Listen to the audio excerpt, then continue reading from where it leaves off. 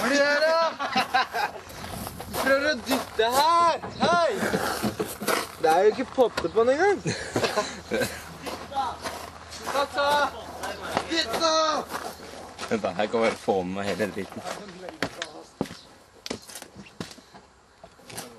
Kom igjen, da. En gang til. En gang til. En gang til. Kassa!